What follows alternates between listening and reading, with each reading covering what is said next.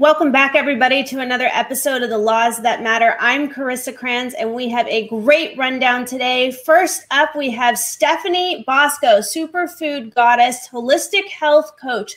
Today's show is about how can you achieve optimal physical and mental health with or through diet. So, without any delays, Stephanie, thank you for joining me today. It's a pleasure to have you here. Tell us, what does it mean to be a superfood goddess? Thank you. Thank you for having me. Uh, you know, I I have such a, a positive view on life, and this is something that I've had to to come through. You know, just through the journey uh, that I've been through, and uh, you know, I feel that being a goddess is a way of speaking positive about oneself and about others. I mean, I love calling other people, uh, other women goddess. I, you know, just bringing up that that good energy, and uh, and so I daily incorporate tons of superfoods into my diet because I know they're nutrient dense. They're going to make me feel good uh, mentally, but also physically and fuel me. Um, so, really, Superfood Goddess is just taking care of myself, being able to share that with others, and um, and, and nutritionally helping people. And how'd you come up with that name? Um, good question. Uh, there were a lot of other names that were taken as I was kind of, you know, browsing social media. Um, but I really just, like I said, I was really just trying to conjure that, that positivity and and how could I bring up the the energy of myself and others? And um and I just I thought you know what? I eat superfoods every day. I take care of myself. I take care of my body as as optimally as possible as if it's a temple. And and so I thought okay goddess. Yeah super goddess is superfoods of course And how long have you been on this path of uh, superfoods and health food and and diet and veganism? How long have you been on this path?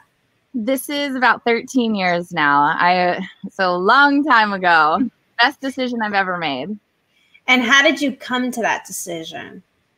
So it actually did come through mental health. Uh, my my brother had been checked into the psych ward for the first time 12 years ago eh, or 13 years ago, and just like any other circumstance that's emergency status, you you search online, you start talking to professionals, and my mom and I came up with the vegan diet. We kept hearing how positive, how compassionate, how energetically it, it was different than eating, you know, dead meat. And so we thought, you know what, let's do a three month vegan challenge. Well, that was 13 years ago and and I never went back. I mean, it's it's it was that powerful for myself during that three months of transformation I felt good. My mental health was doing better. My digestion was better. So I just, I stuck with it. And of course, it started as health and now it's gone for the animals and for the environment and spirituality as well. So you stuck with it, but did your mom? No, my mom and brother they they adopted some of the the uh, the the food and and the lifestyle, and but you know you you can't you can't force people to do things. So I really I look at myself as an inspiration, and they are con- he her and him were constantly changing things just by what they saw me doing. So I would mm-hmm. say they're, they're about 85% plant-based, which I think is still a pretty huge win. Yes, I would love for them to be vegan, but you know, 80% it's getting there. Yeah, no, and you have to live your life not in judgment of others. Like I was born and raised vegan, my mom raised me vegan, but my dad was not a vegan my whole life, but now when we go out to eat, he he lets me order for him and he eats a strictly vegan diet when he's around me. I don't really talk to him about what he does when he's not around me because I don't think I want to know. But I do know that he's also like 80 to 90% there, even when he's not around me, because his consciousness is completely elevated on the topic because this is my life and the way I'm living it. So you know, yeah, it's good that you're on that path. So 13 years. Tell me about what you've been doing with your career in those 13 years and veganism. Yeah, sure. Thanks. uh, you know, I just I started cooking for myself, and it became therapeutic. And and I actually did. I for the first two years of of being vegan, I was on SSRIs. I was on medication for mental health, and just through the diet alone, and and cooking a lot for myself and learning just I mean it was really just basic life skills that I started incorporating that that helped me be more confident that helped me feel like I was making a choice for myself and to control my life and my lifestyle only inviting in good uh, only inviting in compassion. And at some point, I got off medication. Um, I, you know, at that point, I don't, I don't know that I, I made the connection yet with what exactly was going on or how, how powerful plants were. I still was kind of just on my own journey, and I started cooking a lot. I was cooking for other people. I lived in this in this place where there were a bunch of girls around me, so I would just I would always cook for these women and um, and they loved my food and so it was kind of a boost for me and so i started i really just started diving into it i started sharing with as many people as possible and they said you know you need to do something with this people kept encouraging me and i kept thinking nah i don't know i'll, I'll think about it later and and and just the more i kept doing it people kept reaching out and asking for questions and uh, you know steph i have a sore throat what should i eat during this time uh, my stomach kind of hurts, or I'm having sinus issues. I remember you saying you used to have those, which I did. I had sinus issues all the time until I got rid of the dairy. Uh, so I, I started becoming that person for health and wellness that people came to. And I decided I want to make this my living, this my life work. I want to become a health coach. And, have you been able to make it your full time job? Um, so I'm almost there at this point pretty much yes because uh, since covid it kind of you know i know 2020 has been very hard for many of us and it has mm-hmm. changed so many things for a lot of us but at the same time i, I really do have to see the silver lining I, I try to always look for the positive and for me the positive was it brought me 100% online it brought me mm-hmm. Find those clients and i even created a group coaching so that i could help more clients at once at a discounted price uh, so it's um, I have been able to. It's it's basically almost. I, I still have little side jobs here and there before I was mm-hmm. modeling a little bit uh, and working with other health food brands and helping them promote their product because I, I love doing that. I think that people need to know who to be buying from. I know that not every product is created equal. Uh, there's not always the best ingredients in every product. Mm-hmm. Uh, just understanding, you know, who who to buy from um, is something that really uh, fuels me because I know in the beginning I didn't know what I was doing and, and I needed someone to hold my hand, and so that's really what what I want to do with people. Take uh, I'll take your hand. I don't care where you're at. Let's walk together and you know walk mm-hmm. into good energy, walk into being mm-hmm. Fueled correctly and feeling good. And where can people um, find you if they want to get coaching from you? Do you have a membership program or is it online or how are you signing? How are you getting people to come to you? Yeah, thank you. Um, I'm well, so I'm, my biggest presence is on Instagram. Uh, and I do get clients from there. Uh, that's often how I present my programs. I do one on one programs, and then I do have a three month coaching program, which we are almost halfway through are three months. So um, so every couple months I I re-enroll people in that. So if you just you know contact me on Instagram or if you go on my website thesuperfoodgoddess.com you can find me there and I love answering questions. So if anytime anyone just even has questions about working together or food in general, I'm always here to help. Okay. And this your vegan journey started with you over I guess um, a mental a mental health. It sounds like, and then it's transitioned into a compassionate uh, way of life. So, what would you say is the driving reason for your um, staying the course? Honestly, the animals, uh, the animals, and my mental health. To be, I, I would say both. mm-hmm. I think because I came into it for health and mental health, that was that was the driving force. And then when I started finding out what was going on behind the scenes and, and how the animals were treated and you know and what free range really meant. And um, it really that's what kept me sticking with it. Because you know sure like i i thought the world was over when when i couldn't have dairy anymore. I loved cheese. I loved yogurt. And i thought oh my gosh what am i going to do now? And and there's so many great alternatives as well as just you know learning things you can make at home that are still mm-hmm. creamy and still satisfying. Mm-hmm. yeah so i mean like that's yeah sorry go ahead. I know i think it's common that a lot of people who are vegetarian for the animals kind of they block out the dairy derivative here of how bad and cruel dairy can be um, to the animals. So if you were to give out any free advice about how you can as a coach i mean you're out there you're a coach what would your advice be to those watching? You know i i think it's a powerful thing when you are able to, to take control of your life and your journey and your energy. And, and I think that that really starts with our plate.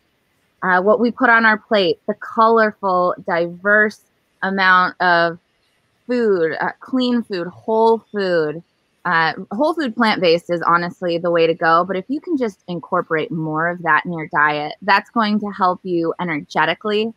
Uh, you know, you're going to have more energy. You're going to feel better, and and honestly, I, you know, you're you know that you're living a, a healthy, compassionate lifestyle all around, and that starts with your plate. So just always feeding yourself with whole foods, drinking lots of water, and remembering to be kind to yourself and and loving yourself. Would you say that you felt a spiritual elevation when you transitioned to veganism? Absolutely. My my entire life changed. I I because I had to start thinking differently about what was on my food. I mean, I'm sorry, on my plate. And so I had to start thinking about the thoughts that I was incorporating into my life. What how was I speaking to myself? What kind of events was I going to? What kind of people was I allowing into my life? I had no idea that it was going to actually affect me on such a spiritual level. I I have different friends now. I have friends that that brings so much to my life. I go to events where I'm constantly learning, and I think that life is about constant learning and growth. Mm-hmm. And yeah, I mean, I, I went to become a, a, yoga teacher seven years ago. I traveled Bali for for five weeks. It, it, was amazing, and it, it's mm-hmm. just opened so many doors that I don't know that I I would have thought were possible, um, or even it's allowed. version of eat, pray, love. Yeah, yeah, totally. Traveling Bali, doing yoga, eating veganism. Yeah. yeah, so, it, just, it just made me feel good. Mm-hmm. Do you have any projects coming up that uh, you can discuss? Yeah. Um, so I've been, and this is still in the works, uh, but hopefully in in January or February, I will have a virtual retreat. I know that right now we don't really know uh, about traveling certain places, and um, and we're still kind of you know distancing. Um, I, this year was going to be my year for my first Bali retreat. I had it all set up, and it didn't happen. So I thought, you know, maybe in a couple months I'll do a virtual retreat where it's kind of like a summit, a, a time where we can come together, we can remind ourselves to take care of ourselves, uh, to connect with not only uh, our inner self but but others. Uh, i know right now connection is huge. Um, it's even bigger now because we're a lot of us are at home. Um, so so yeah so i'm going to be launching a retreat soon online until i can do it in person. So i want to put up a question from paige. What would you recommend for someone who's feeling blue? Sure. Uh, so Thanks, paige. Yeah thank you paige I love eating goji berries, really any kind of berries. Berries are super high in antioxidants. And, you know, when someone's feeling down, blue, overwhelmed, uh, depressed, or stressed, antioxidants can really help fuel and replenish your body, as well as help fight your body, uh, fight oxidative stress, which in turn can at some point turn into cancer. So, eating a handful of blue- blueberries eating a handful of goji berries. I mean, you can make it pretty. Uh, you can make a, a, smoothie pretty and, and throw it on your smoothie. But I also just love having a handful of it. Um, and also cacao. Cacao also is a nice mood uplifter. So if you can make yourself, a, you know, get some cacao powder, mix it in with some non-dairy milk or some water, warm it up, and then sweetener of your choice. I usually use a, an herbal sweetener like stevia or monk fruit um, but yeah, chocolate and berries. and what do you typically eat in a day? What's your typical breakfast, lunch, dinner? Sure. I love oatmeal, rolled oats. Uh, so I'll make that with either water or non dairy milk and then throw some berries and sliced bananas on there. Uh, for lunch, I love having a huge salad. And I know sometimes people think, oh man, salads are boring. You can't get full off of them. I mean, my salads are so packed with beans and shredded carrots and shredded beets and just so many different things. Um, so that's usually for lunch. And then for dinner time, I'm Italian. I, I'm I love Italian foods. So I'll make a really yummy. I actually kind of call it an Italian stir fry because I mm-hmm. sometimes if I feel like adding some pasta, I will. But otherwise, I just stir fry a bunch of vegetables, broccoli, carrots, tomatoes, bell peppers, zucchini, and then I'll pour a little bit of tomato sauce in it, some fresh herbs, and I'll either eat it alone or on some zucchini noodles or gluten free pasta. I think this sounds like a good time to talk to our vegan chef that we have today, too. You know, the plant based G? Yeah. What's happening? Hi, Marlon Rison. Thanks hello, hello, hello, hello, I, ladies. I understand you two know each other. Yes, we do. Hello, Steph. Great to see you again. You Hello, too. Carissa. Good to be on with you. You too. Thank you. I want to hear all about your vegan cooking and what the plant-based G is. Yes, yes, absolutely, absolutely. So again, Marlon Rison, uh, I'm better known as the plant-based G on Instagram, Facebook, etc. Um, anyways, um, I guess my forte, which has kind of evolved during my uh, vegan journey, is the cooking. Um, if you've been on my uh, my Instagram or on my Facebook page You've seen some of the incredible dishes that I'll whip up and put together. Uh, so for me, you know, it's um, you know, the vegan journey actually started about three years ago, and I've kind of evolved from that novice who was just getting his hands dirty to now um, I'm whipping up things in the kitchen, uh, you know, sometimes two or three times a day. So it's uh, it's been fun. I love it. What are you whipping up in the kitchen two to three times a day? Yeah, well, well, well, it's funny. Um, you know, so I'm big on on trying new things, uh, new vegetables and and whatnot. So so for me, you'll find me doing a lot of things with cauliflower. Like I make a fried uh, cauliflower non-chicken sandwich that's uh, to die for. Then also I do a lot with mushrooms. Mushrooms are definitely my favorite and and for me the most versatile you know vegetable that you have. Uh, so anyways, well actually not a vegetable, fungi. So anyways, mushrooms are are incredible in terms of the things you do with them. I make everything from shredded chicken tacos to um, steak like you know products to the other day I made some um, quote unquote vegan popcorn shrimp with uh, with these baby king oyster mushrooms. So I do literally I get crazy in the kitchen when it comes to food, but but it's a lot of fun for me, and um, that's one thing that's made my journey uh, that much more enjoyable. Okay, and you're also an author, right?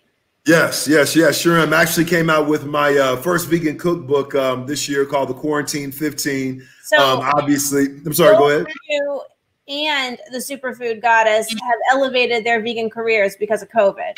Yes, absolutely. It's it's crazy because you know, for me, whenever COVID first hit, um, started working from home, and so found myself with you know more time to to kind of put into some of the vegan things that I was doing, and people have been asking me for for an extended period of time to put out a cookbook. So finally, I said, you know what?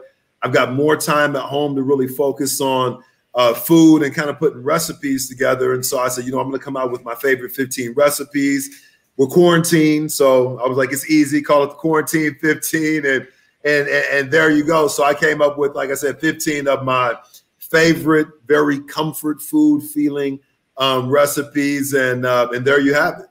And where can we get this book?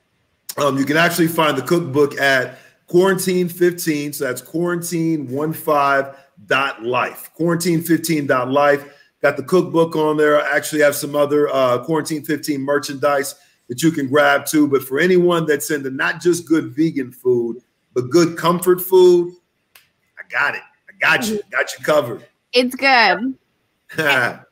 And what made you go vegan? What was your reason three years ago for transitioning to this vegan diet? Um, I think it was similar to a lot of people's journey. Uh, one afternoon, uh, was hanging out with a friend of mine, uh, Netflix and chilling, and so was going through, you know, some of the things that I guess were popping up in my uh, in my algorithm, and so you know, what the health popped up, and I was like, okay, this looks interesting. And um, I've always been into health and trying to better myself in terms of um, you know how I how I take care of uh, of, my, of my own health care. And so, sure enough, started watching it, and I'd say probably halfway through it, I remember stopping it, and I said, you know what, our lives literally just changed. And so for me, I knew from um, from there on, I would never go back to consuming any animal products. And so and so for me, just to give you a, a quick little bit of background, at the time, it was all about the health side of it. So I was looking at the foods that we were eating, how we were lied to as far as these foods, quote unquote, being good for us. And so I took offense to it, you know. And so for me, part of the the issue I had wasn't just the health side, but I felt like they lied to us and they've hmm. been lying to us. And so for me, like I said, I took offense to it. And so hmm. whenever I get factual information, I don't go back. And so once the information was presented to me, um, it was easy for me to make that decision. And so, like I said, it was about the health side, the information that I was given, and then similar to um, to Steph, um, it evolved into the compassion. And I would have never thought. And I can tell you, I'm from Texas. You know, grew up eating steaks, playing football. You know, machismo was heavy. So, you know, I was more about the health side. Was never thinking about the compassion as far as animals went. And sure enough, as I started traveling out to the Los Angeles area, linked up with Paige and and just real kind-hearted people like Steph and and so many others who um, you know I started seeing and feeling the compassion side of it all. And so I actually went out to Farmer John's and was able to experience um, what it's like being out there and, and, and whatnot. And so for me, um, it opened up my eyes to so much. And so I'd say, in terms of one of the things that I'm most proud of, is definitely the higher level of compassion um, that I've been able to get, you know, from making this transition. And how has this transition changed your life? I see some comments here. I see Paige is still tuning in. She uh, she said, "Didn't you lose half your body weight on a plant based diet change?" Oh yeah, yeah, yeah. That's that's another yeah sidebar. yeah, yeah. Quick, sort of yeah. Forget about. yeah, yeah, sidebar. Forgot to mention that, but um, but I actually lost about 150 pounds too whenever I made the transition. Sidebar, and, right? Yeah, yeah, yeah. Sidebar. I lost about 100. Yeah, yeah, yeah. Side, quick sidebar. But um, and, and again, I was trying to be healthier, but by no means was I knew I was going to lose some weight, but I wasn't in it to you know lose like oh, I'm going to lose all this weight and I'm going to do. I was like, you know, I'm going to lose some weight, but I'll be healthier. And, and more importantly, I was like, you know, I just want to live the best life that I possibly can in the healthiest state that I can too. So slowly, I was losing weight and I lost, you know, 10, 20, 30 pounds. I expected that. Then it kept going and I expected that. But then it kept going. It kept going. It kept going. I remember going to the doctor and I was like, hey, doc, I was like, you know, he was like, yo, you look incredible. Your numbers are great. I said, but I'm losing a lot, man. I don't know if this is the way that I'm supposed to be. And a lot of people in my family are bigger individuals. So I always thought and was raised to believe that I was supposed to be a big person. And so, anyways, I told the doc, I said, you know, I'm, I'm supposed to be a big guy. And he said, well, wait a minute. He said, what might be taking place is you're actually forming into the individual you really should be. And so once I changed my outlook and I said, you know what, I'm to let things happen naturally. And then where I end up is where I end up. And so sure enough, I ended up about 150 pounds later, 150 pounds, probably four wardrobe changes, um, mm-hmm. so many triple, quadruple takes with people who know me and they're like, I know you, but who are you? You know, through through all of those things, here I am today. And so, like I said, that along with everything else has made it um, just an incredible journey. And, and and the bigger thing is I don't have the years in the game like you and Steph. So, you know, I'm looking forward to those years and years and years of of all the beautiful experiences and the people who I encounter, um, the, the people who I can help out and hopefully um, elevate their lifestyles. So, so for me, being a rookie, you know, I still consider myself to be a rookie. Um, it's been it's been a beautiful journey thus far. Mm-hmm. Did anything else change that would cause you to lose weight besides your diet? Did you up the exercise? Any other changes? Yeah.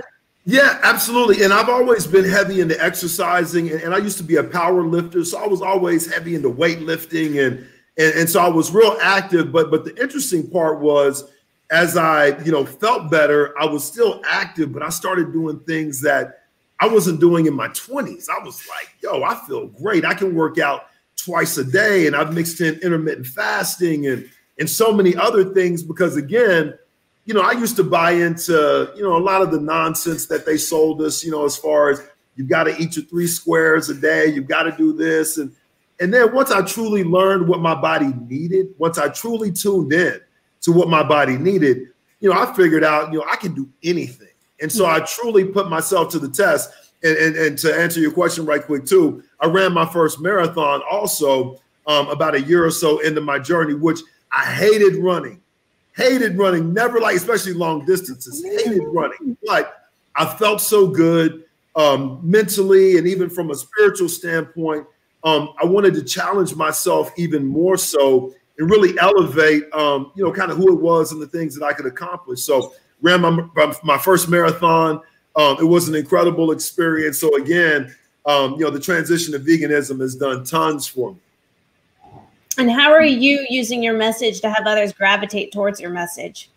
Um, you know, really, what I what I try to do, and it's funny because I tell people, you know, I try to speak to people via food, and so so I mm-hmm. utilize food to open up the doors to the conversation. And so, you know, I try to put the most beautiful things in front of people to where they're like, "Yo, what is that?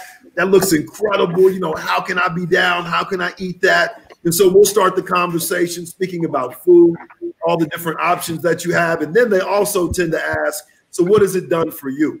And so that's when we're able to open up the conversation into what it did for me from a health standpoint, what it did for me as far as the weight loss, as far as the activity. But again, more importantly, like I tell people, you know, I'm a much more compassionate individual, but I'm also a much more loving individual too. So especially when I'm speaking to men, you know, especially more of your machismo, athletic, you know, that heavy, you know, kind of guy mentality. You know, I like to make sure that I convey to them that look, I'm like, I'm just as strong as I've always been. I'm just as manly as I've always been, but I'm a much more compassionate, much more loving individual. And I believe that I'm a better person for it too. So I love sharing that information with with all of the fellas out there, especially and letting them know, yo, we can be cool. We can do all the things that we used to, but still eat the way that I eat. And like I said, it's a much better life for it. Mm-hmm. I think this is also a perfect segue into our other guest we have today, Bobby Lynch. He's a health coach. He's the host of Plant Strength Radio, and he's also the founder of a vegan certified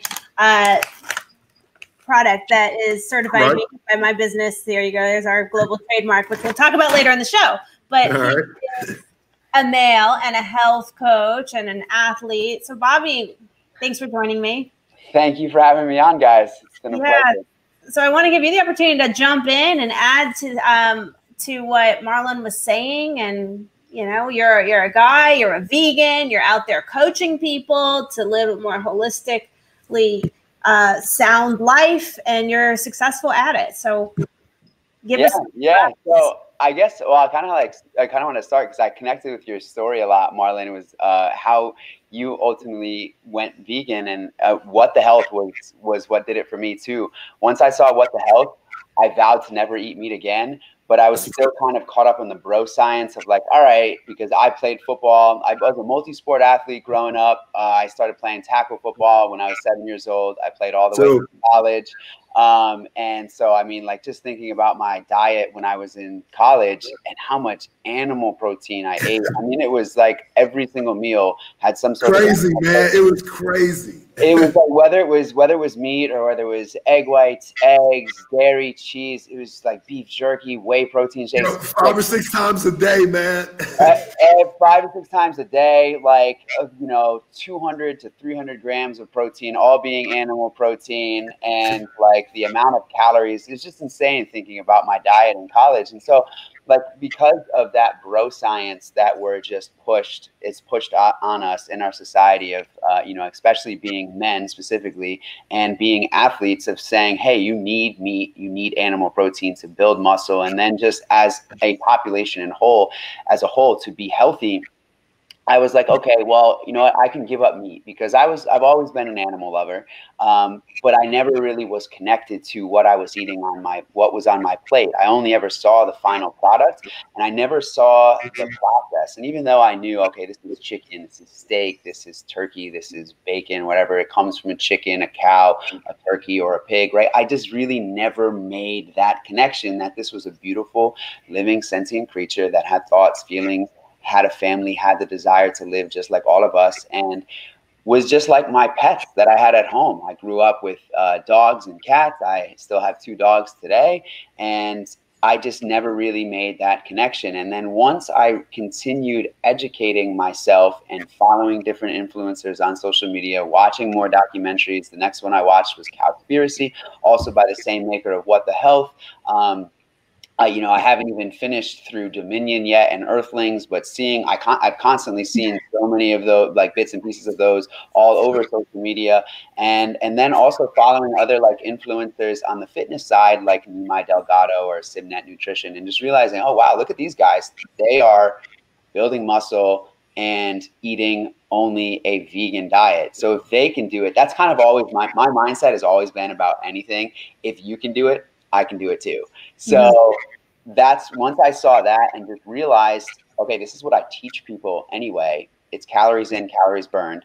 And then when it comes down to building a lean and muscular physique, depending on your goals and your level of activity, that's where how much protein you need will come into play. But then it's it's just at the end of the day, like the food source doesn't matter in terms of just seeing changes to your outward appearance. Now, where it matters is like what's going on and the story that's being told inside your body for your health and longevity. And that's where a plant-based diet shines. And I am like in better shape than I was in college. I'm like just as just as muscular. I'm actually stronger. I just tested all of my numbers um, right at you know like right towards the, the beginning of quarantine in May. Um, all of my numbers were higher than my final test numbers in college, um, and I'm like I'm just lighter. I perform better. I still playing multiple sports, um, and I play in a flag football league, which just ended. Going for bike rides, hiking, and then of course I'm like in the gym four to five days a week, lifting weights, doing powerlifting, doing um, calisthenics, doing CrossFit type workouts, just being an athlete overall. And I feel just so much better. And I know that's like just that's just based on how I feel, but it's like the common trend is the same with everyone who goes plant based and goes and does it right. That's a big thing. Where people fail on a vegan diet is they're just not properly educated about how hmm. can I achieve the results that I want to achieve. And usually, where I see people when they go vegan and they fail is because they just start eating like lettuce like and greens and they don't they don't find those nutrient dense calorically dense plant based foods to substitute in in place of the calorically dense meat and animal products like eggs dairy cheese etc you need to find those replacements and that's why we came out with our product chicken bite meat 17 grams of protein per serving, as you guys can see right here, per four ounce serving, no fat, 120 calories, 13 grams of carbs, but only seven grams of fiber. And how I ended up coming out with those, just kind of segueing off of that, was when I went vegan. For me, because like the driving force is the animals. And like that was kind of really it from the beginning more so than the health more so than the environment. Like it's it's for all of them but the main one was the animals because like i said these are beautiful sentient creatures. And a principle that i always apply to my life when making a decision that involves the life of another whether human or animal is is what i'm about to do something that i would want done to me or for me if I were in on the receiving end of my actions? And if the answer is no, then I do not carry forward what I'm about to do, no matter what it is. And so whether that is going out and taking the life of an animal, which I would never do to eat, or paying for somebody else to do it. Because when you pass your dollar over to buy that meat, to buy those animal products, somebody else is doing that torturing. They're putting those animals through that life of suffering, and then they're taking those animals' lives at the end of the day. So that's like my main driving force. But you know, you probably get this. Both of you guys probably get this asked all the time. Where do you get your protein? Oh yeah, yeah. Oh, I'm asked all the time is where do you get your protein? And so I started, you know, because it was for me. It once I fully connected with what what is my purpose for going vegan? Why would I go vegan? Then I was like, all right, that this is it. I'm vegan. I'm gonna find a way. I'm gonna figure it out. So I started doing research, and then I really started learning about the benefits of soy, something that I used to completely avoid because of the bro science. Oh, you eat, you consume soy, you're gonna yes. man boobs. You're gonna your testosterone is gonna decrease. Rob completely false. Completely false. Um, yes, uh, soy has estrogen, but it's phytoestrogen. It has an anti-estrogenic effect on the human body. It mimics mammalian estrogen, but mammalian estrogen comes from mammals. So what we produce as humans, because we're mammals, but also what you're getting from the mammals that you're consuming, and when you're consuming their byproducts, those are real dietary sources of mammalian estrogen, which actually raise your own levels of estrogen. Soy has the complete opposite effect. I eat soy every single day. Um, Um, and so once I kind of figured that out, I was like, all right, let me kind of experiment with things. So I learned a lot about soy and soy flour and the properties of it.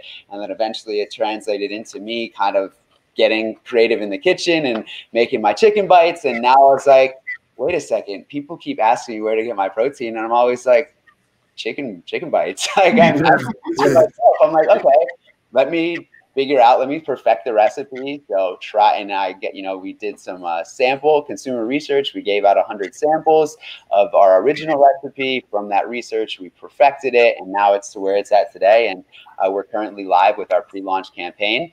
Um, right there, we're certified through BeVeg International. If you guys go to Plant Strength foods.com. You'll be able to pick pick yourself up a pack. And during our pre-launch campaign, which is live right now for November, 10% of all sales go to our partner farm sanctuary. So right now, uh, this week, we're partnered with Sleepy Pig Farm from Redding, Connecticut. 10% of all sales this week will go to them. Then we are partnered with Austin Farm Sanctuary next week.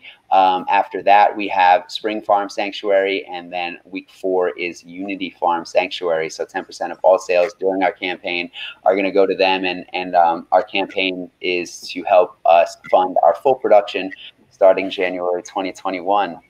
Okay, and Bobby, how long have you made a career out of your vegan diet, helping people? Now you have a product launch. How long has this been going on for you? So uh, specifically veganism. Um, so Plant Strength Performance, I founded it February 2019. Um, so I went vegan August 2018, and then I went I went vegetarian though uh, November 2017. That's when I saw What the Health, and um, I've always been in the fitness industry. Kind of like I said, I grew up a multi-sport athlete, playing football, baseball, basketball all the way through um, high school, and then just solely focused on football during college. I still like snowboard. I've been snowboarding since I was young, and like I said, it's kind of being an athlete overall. And then, um, but I went to school for managerial economics actually, and I minored in Spanish. I thought for the longest time I was going to go the corporate route, get a job on Wall Street, but it just never sat right in my heart one thing led to the next. And uh, ultimately, after I graduated, I ended up starting my own coaching practice, getting certified with NASM, and then eventually certified uh, the National Academy of Sports Medicine as, as a personal trainer. And then eventually, I got certified with Precision Nutrition as a nutrition coach. But I wasn't vegan at the time. And it's funny because when I started my own coaching practice originally, I was I always had this feeling just deep in my gut that I kind of wanted to rebrand. Even like even not long after I founded it, the practice, and it was called Premium One Training and Nutrition, premium1training.com. It's you know, it's no longer operating now because I'm now fully plant strength performance. But I always felt like I was like, I want to rebrand, but I don't know what I want to do, rebrand to. And I swear when I went vegan, it was just like plant strength came to my head. I fully felt connected with my spirituality and my purpose in life. And then, like, I started um, creating my uh, the uh, lifestyle transformation program that we have, the Plant Strength Blueprint.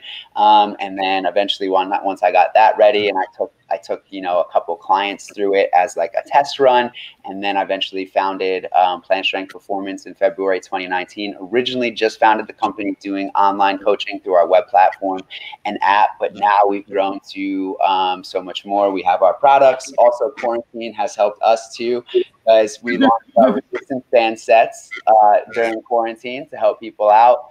Um, I published my book, The Winner's Manual, January 1st this year and um, and you know eventually we're going to move into more products. Our team has grown to 11 total including myself two other co-founders and then we have um, some other coaches and ambassadors on the team. So we're just slowly growing and it's just like i i literally wake up every day so motivated and so passionate and so happy to be doing what i'm doing and i just really couldn't imagine my life any other way.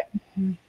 I think mm-hmm. that it's really like interesting to bring up right now is every week I have two different people booking my shows, right? I have I have Paige booking the guests to talk about the vegan message and the laws that matter, and then I have my office booking the BeVeg certified vegan product of the week that we wish to highlight. But every week, the synchronicity of this universe, which we live in this law-based universe, always puts the perfect guests together on the perfect show. It's incredible. Like the fact that Bobby, that you you know you were here today just for your product. Your your launch is you know now, and you have all these specials. But you're also a health coach, and you are the exact same profession as everyone else who's on this show today. It's a perfect roundtable.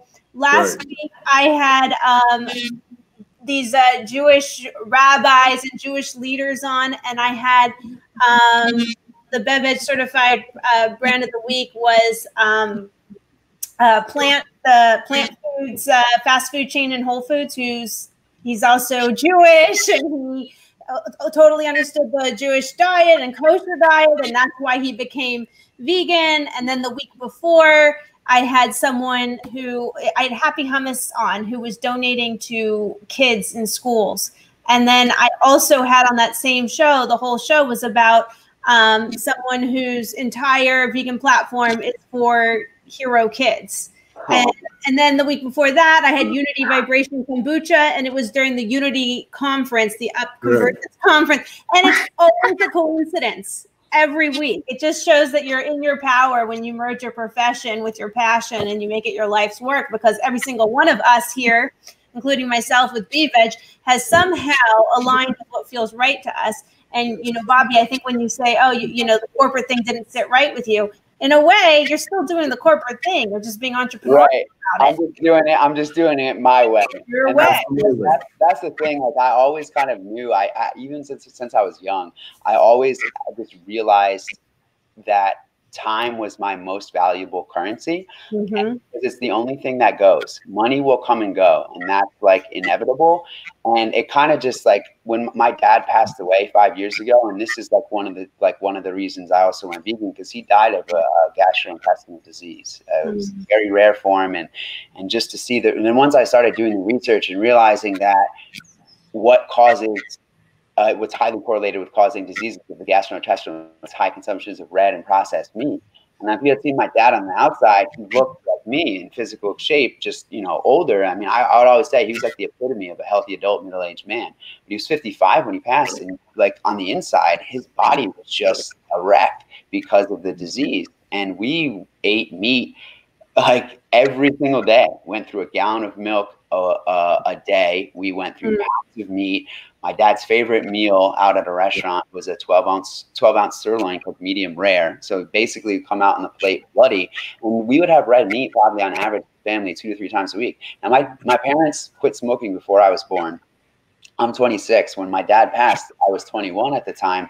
So like that wasn't a you know that that wasn't an effect for him. And it's just like how much meat that he was we were consuming every day. It's like yes, it's gonna it's gonna vary from person to per, person to person, but what you put in on, on your body really determines the story that's being told and how it's going to directly affect your health and so kind of like having that realization of wow like look at how look at all the stuff that my dad did in his life and now he's gone and just that's why I was like, you know what? I'm I like it's almost my duty to pursue exactly what it is that I want to pursue if this is really the only life that I have to live because once I'm gone, I'm gone. I don't get it back. So I'm not going to waste it doing anything that really doesn't matter to me in the end. I want to make a difference in this world, so I'm going to do it my way. And that's, mm-hmm. that's kind of like why I started working for myself right from the time I graduated school. And, and I encourage other people to either do the same if they're an entrepreneur or just figure out what it is that they're passionate about. Because if working a corporate job is what they're passionate about, then do it. Mm-hmm. Oh, if that's going to bring you happiness, do that. But if it's not bringing you happiness, don't do it because you're chasing the dollar. That's it's like you're going to be so unhappy and you're going to waste your life and you're going to wish look you're gonna look back in your life and I, I saw that pain in my dad's you know in my dad's eyes not like because he didn't do what he loved because he did but just like regret of you know bob i wish we had you know i wish i'd kind of taken you guys on more family vacations and not worked not worked as much. My dad worked all the time. You know, mm-hmm. and just seeing that regret and you can't get it, you just realize you can't get it back. Pursue what it is that makes you that like lights your soul on fire mm-hmm. and live a good life. Yeah, yeah. I, that's another thing here. Everybody here is an entrepreneur, right? Of passion. Absolutely. And I, so I think not only can you give health advice and diet advice and exercise advice, but I think there's another seg- segment of advice we can give here to people who don't know how to get started, who might have a passion, but who might be stuck in another career. And like Bobby, what you're saying, the time is now, right? To start whatever you want to do in life. And I always try to tell people there's never a perfect time to get started, and you don't have to do it perfectly. You just have to get it going. And once you start setting things in motion, the next door opens and the next door opens. And then, you know, it's that whole law of attraction, action plus alignment equals attraction you know align with what you want take take an action towards it. If you take a baby step towards it you might get a baby step of a door opening back at you. Or if you take a, a giant leap of faith you might have quantum progress. Um, so it's all about just getting started. So let's talk about that for a second. Um, marlon how did you get started?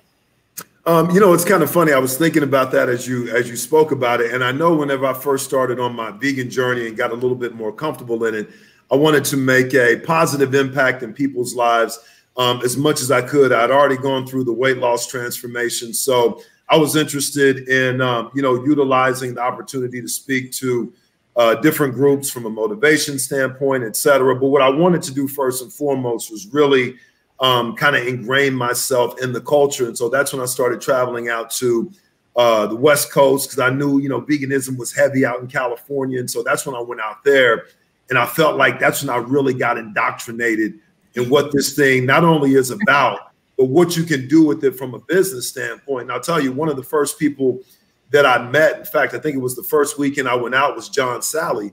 And so he and I were talking, and so we had chopped it up for a while. And he told me, he was like, Hey, man, you know, I know you work in, you know, business, um, kind of a corporate environment, but he said, You can make money doing this by doing exactly what it is that you're doing. He said, I know you're passionate about it. I know you love helping people. He said, but you know, you can actually turn this into a business opportunity and still do something you're passionate about. He said, you know, don't sleep on that opportunity. And so I took that along with the drive that I had. And so that's when I started doing more as far as um, speaking engagements whenever we were doing more traveling. So, you know, ended up getting booked to do more speaking engagements, um, started doing some cooking demos did a few of those with Chef Babette. And uh, so for me, back to your original point, it just took jumping out there. You know, that's exactly what I did. I said, you know what? Great. I'm jumping out there. I'm going to meet as many people as I possibly can. We're going to make this thing happen. And that's mm-hmm. exactly what took place. Yeah. John Salley, Chef Babette, all people that have been on the laws that matter, great people to know. Good people. Great inspirations too. Um, but I think one thing that we also need to address is people have a fear about being bold and jumping out. They have a fear. So, Stephanie, why don't you discuss how to overcome that fear and to be brave enough to say, you know what, I'm not going to chase this dollar. I'm going to take a risk on myself because perhaps the greatest bet in life is on me. You know, you can control me. You can't control other people, but you can control you. So, if you are set on something working out, the only person that's really going to let you fail is you by giving up. But how do you really get over that fear? Because we all f- feel fear. It's a human yeah. condition. Yeah, we do. And you know, and I and I think back to what you were saying, you know, we we forget I, I think that we forget or sometimes we're not taught that we can change our reality. We are full creators of where our life goes. And and it, it does take faith and it does take quieting that fear because I get it. It's scary. Making a change is super scary. Doing something for the first time is scary. And I mean, and I still, you know, I still get that like that anxious feeling or or I like to actually say that excited feeling because anxious and excited are very similar feelings. And so I think it's it's really trying to turn things around, changing your mindset. Instead of coming from fear and being fearful of something or fearful to jump into something, coming from a place of love. And and you know, and, and I know sometimes people will will knock that down, but it has worked for me every time. Really trying to sit with myself. And if I was coming from a loving place, where would this idea go? How how much quicker would I get there? Because fear limits us. And and and again, I'm saying it happens to everyone. And, and I mean, I even still ha- let fear creep into my life. Yeah, fear is constricting and faith is expansive. But we yeah. all we all have a sense of fear. And sometimes that fear can be debilitating. Like I like to say, if a thought doesn't serve you and you have anxiety, file a motion to dismiss on the universe. Dismiss it. It's not helping you. You know, move on. It's like my my legal, you know, procedure here within universal laws. But um, I think every single one of us experiences fear, but we also have that contrast of what we want, which can drive us to achieve yes. us to get it. So the question is, is what's the overriding emotion that's going to either allow you to achieve the success? Yeah, you know, one, I was gonna say one thing right quick, Carissa, and I know Bobby probably knows from a weightlifting and, and a working out standpoint, but you know, and I used to, you know, personal train people too, and, and you know, whenever you'd have that amount of weight that's on the bar, you've like I've never done that before. And, and all of that is is going through your head. And what I would ask my clients was, you know, I'd ask them this question. I said, who said fear meant stop? Mm. I said, who who who made that a law that fear means stop?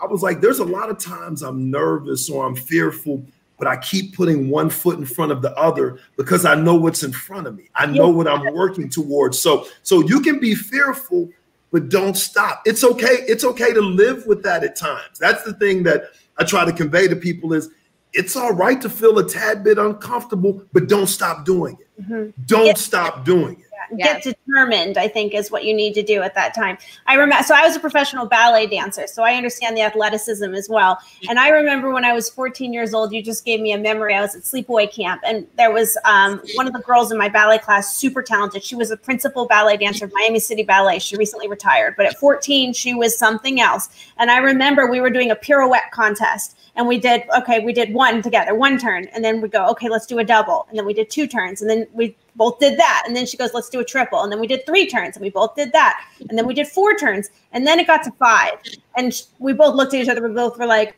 we've never done that anyway after much determination and hard work in the studio she was doing 11 pirouettes on point and i was doing eight so like we were able to just say, you know, and as soon as one of us did it, the next one was going to do it. Yes. You know, yes. like, oh, like she just did it. I'm going to do it too now. But um, that determination can really drive you, and that's what makes someone successful. And trust me, I think a pirouette's a perfect example because you know how many times we've both also fell down. we yeah. both fell down, and we had to get up, and we had to do it again and again and again until we learned how to do it right. And I think people look at other people who have achieved success and they think, oh, it was an overnight sensation. It's never an overnight sensation. And I'm sure each one of us here can talk about how many times we've we've we think we failed, but you don't really fail until you just give in because mm-hmm. it's never easy.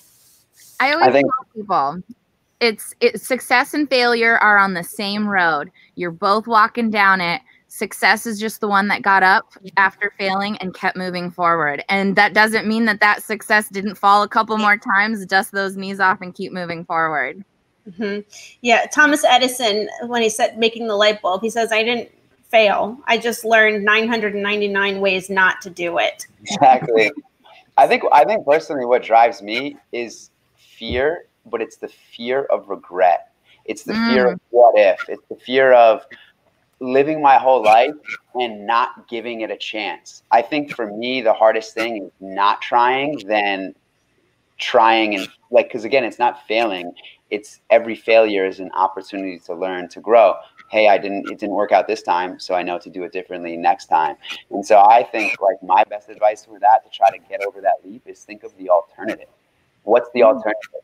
Like, are you still alive? Are you here? Are you healthy? Right? Okay. So, what's the alternative to not going after it is what that's going to bring you an abundance of happiness in the long run. That's doing the same thing, staying stuck with the status quo, and then looking back on your life when you're older, being like, man, that was a waste. Why didn't I go for it? What if? That's that's personally what what drives me. And and if you're trying to get started on a side hustle, make it a side hustle. You don't have to just give up your job, your full source of income, especially if you have kids, a family, and you have other expenses that you have to pay we all have those expenses. I don't have kids or like a family to take care of but of course if you need to keep your main job keep that. Do your side hustle. Work that until your side hustle is now making more than your main job and then you can leave your main job. So you don't have to like let anything go and you can maintain but you just you have to put in the work. It's going to take a lot of time a lot of time. I also think sometimes when you are um, living your life uh, pushing up against something and you're not feeling joyful doing it and you're working really hard to try to keep it together that maybe you're supposed to allow it to fall apart I know that there's been times in my life where I was holding on to um, certain sources of income that I felt like I had to hold on to because I was making all this money and I need to continue making money this way because because this is the only way I know how to make money. And it just you know, was difficult. It was like everything just didn't seem to want to work out. And it was because it just wasn't supposed to work out. Because the moment I stopped chasing that and I allowed veg to come to be and happen is the moment, you know, I was attracting this abundance of opportunities in another in another place that I just had to to let go. I think sometimes the universe shows us opportunities and when we ignore it, it's things are difficult. But when we pay attention, it flows and you're in universal flow um, and have synchronicity. So it's so important. Um, where can everyone find all of you guys after this nice synchronistic episode? um, I'll go first, right quick. Um, again, uh, you can find me at plantbasedg.life. That's plantbasedg.life, both on Instagram, Facebook, as I mentioned earlier tons of good food. I try to drop some mental nuggets too that are good for the soul also. So make sure uh, you check it out. Like I said, got, got a lot of good items to eat on there. Where's your book? Can you show us? Do you have yeah, it? absolutely. Yeah, absolutely. Um, actually, it's a digital copy as far as the book goes. So, um, but anyways, you can uh, download it uh, at quarantine 15. That's quarantine, the number one five.com. And then also, right quick, I've got a mushroom cookbook that's coming out a little bit later this year. So, in the final stages of that, 25 recipes, all mushrooms, a lot of stuff in it that you wouldn't believe are mushrooms, too. So, that'll be dropping a little bit later this year. Okay. And Stephanie?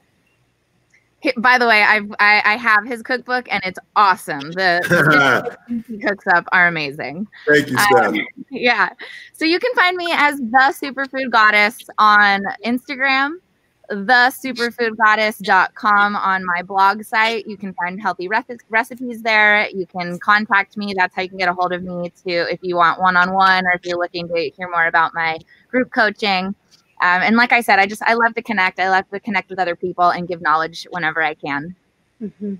And Bobby, what about you? Where can people find you, and what do you have, what do you have to offer? So you guys can find me right there if you see on the screen at Bobby Physique. That's on all social media platforms, the main one being Instagram.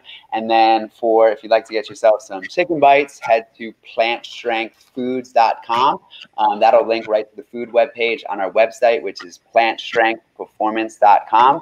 And so we have a lot to offer at Plant Strength Performance. If you are looking for coaching, we have one-on-one and two-on-one or group coaching options. Options. We also have program design options I'm a coach, but there's also uh, three other coaches on the team as well. And then uh, we have our chicken bites, we have our resistance bands, we have uh, you know the copy of my book, The Winner's Manual, which is uh, right up there on the shelf, um, and then and then we have a lot more stuff coming in the future and, and we're just constantly out there doing a lot of activism. As you guys can see that sign right there you don't need meat to build muscle prove us wrong and then there's another one to the to the side of it, says real men eat plants. We've been out down in new york city with the team uh, just promoting uh, a healthy vegan lifestyle and showing that we're the cool vegans. You know, there's that common stereotype that vegans are not cool. They're they're very pushy or they're or they're you know they're very hippie. I mean, I honestly I'm kind of hippie to be honest, but, but like you can actually be an athlete, you can have fun with it, and you can just live life like everyone else does, but do it in a cruelty-free way. So that's what we're out doing. We've been doing that out in uh, down in New York City doing our activism. So that's what you can expect with us at Plant Strength. Well, I think that you're all winners, and I think you're all coaches, and you're all leaders here in the movement. And it's also, you know, as the the founder and CEO of BeVeg, the we certified vegan Bobby's uh, product here. This there's our there's our logo. I think you guys also brought up something important earlier. Um, Marlon, in the show, you said that you felt lied to. Yes, that's what, absolutely. That's what changed it for you. And um, for vegan certification, a lot of it is it's true. People, the consumer, whether they're vegan or not, does not want to be lied to. And we are going through another level of global accreditation. We're going to announce it formally in about a week. We're about to get um, 17067, which means for conformity assessment program for vegan, for like a global vegan definition. It's almost like setting a legal standard. And um, this is this is this is significant for me because the um, the accreditation center that accredited us in Turkey. Uh, the owner's daughter reached out to me and she said, You know, I always thought that vegans we're unhealthy or sickly. I, it's just not anything in our culture that we do. But since we've started doing your accreditation, and now that we've accredited BeVeg as a vegan standard according to like ISO 17065 and now 17067, I started watching your documentaries like What the Health, Earthlings, Dominion. And she's like, and I've watched your shows, and everyone on your show is so healthy and pretty. And I just don't understand that vegan is like the cool thing to be. And I'm like, yeah, that's what I'm saying. So now the accreditation center is like all excited about this vegan standard. The daughter's going to be running it. She's, you know, of our you know age generation and she's really all about making it cool now and she was not vegan before we applied for our accreditation and i'm not going to say she's vegan yet but she is completely shifting her her focus and understanding that this is a way to achieve um, optimum health but anyway, we will be back here next week on the laws that matter. Thank you everyone for joining us, and we'll